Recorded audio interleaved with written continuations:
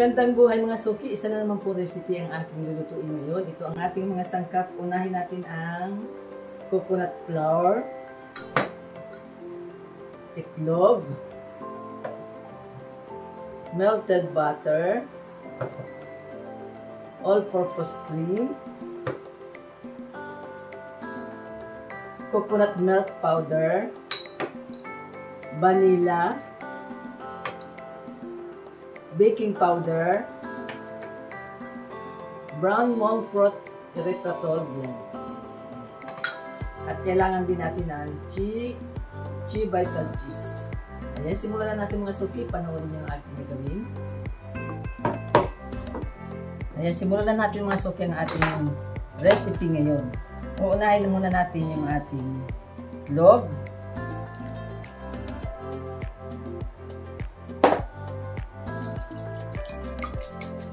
Yan, babatiin muna natin siya. Then, ilalagay na natin yung ating melted butter.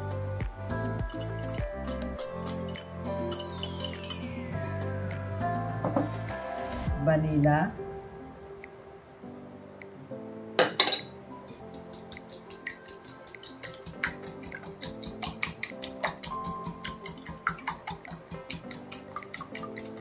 Then, ilagay na rin natin ang ating all-purpose cream.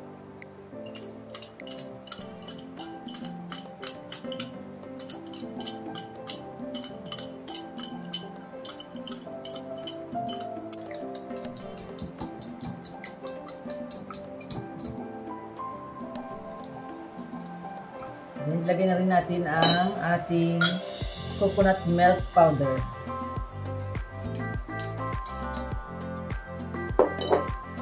Ang ating brown monk broth erythritol. Yan, ito ang ating gagamitin na pang, pang, pang, pang tamis.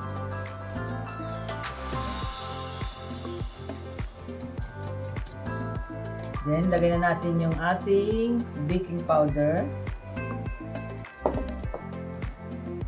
Para mahalo na siya agad. Then, lagay na natin ang ating, ilalagay na natin mga suki. Then, isusunod na natin ang coconut flour.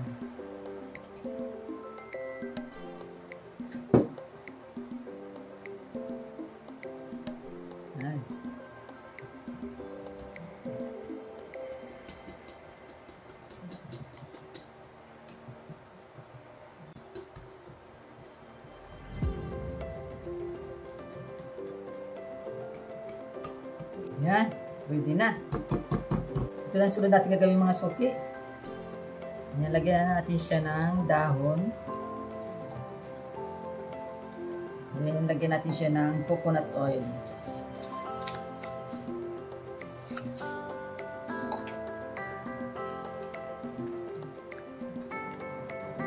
Yan, lagyan na natin siya ng soki. Para hindi lalagyan na natin siya mga suki.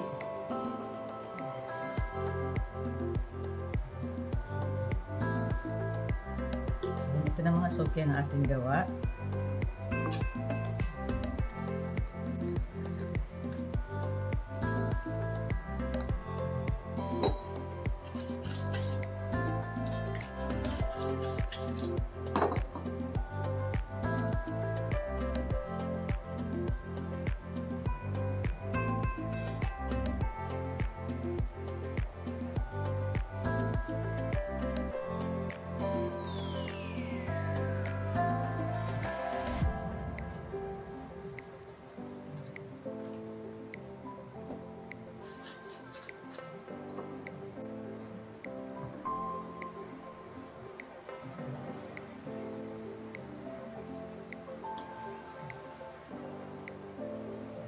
Ayan, lalagyan na natin siya ng chi vital cheese sa ibabaw. Para maluto na, lutuin na natin siya.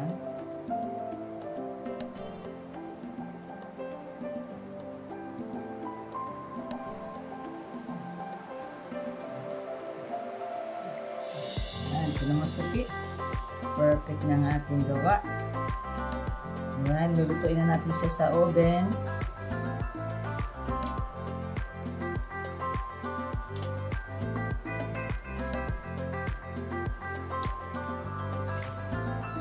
Salang na natin mga suki. Yan, salang na natin mga suki sa ating oven. Ayan, kakapakain na. Wow, sarap. Sarap, mga suki. Ayan, dito na natin mga suki. Alisin na natin dito. At titikman na natin ang ating bibingka. Napakasarap. Perfect mga suki ang ating recipe ngayon. Ah, di ba mga suki ito na?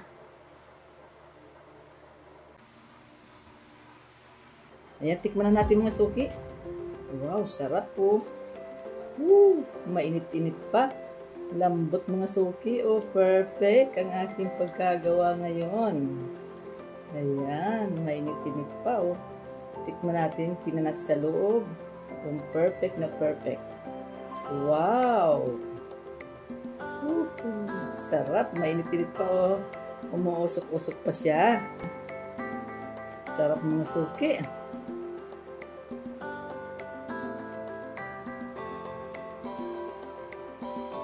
Boom!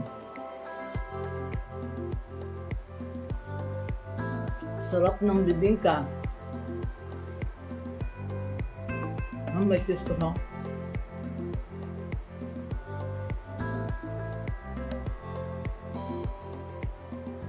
Sarap.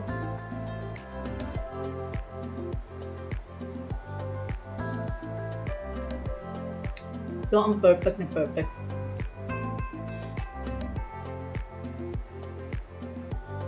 Sarap mga suki.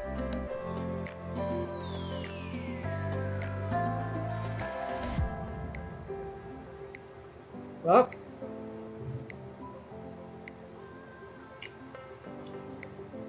Hmm.